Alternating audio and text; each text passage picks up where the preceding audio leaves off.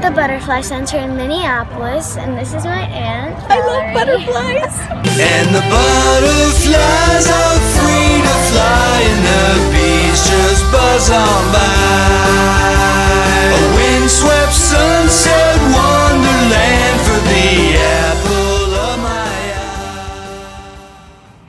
So when they first His come out, abdomen they're still looks a little bit plump. yep. When they come out, their wings are all wet, and they so they need some time to dry here. You have two on you. Oh my gosh. Yeah, this this one has. Do they fight each other? Because I see one chasing. the Uh, yeah, sometimes they will if they get a little annoyed, but for the most part, they just kind of um, they're pretty pretty peaceful with each other. Want me to get it? It's trying to eat you. other. it called? got sharp claws. I think this one's called a Pearl Emperor. Very pretty. Oh, Bella. Yep. And the butterflies Somebody.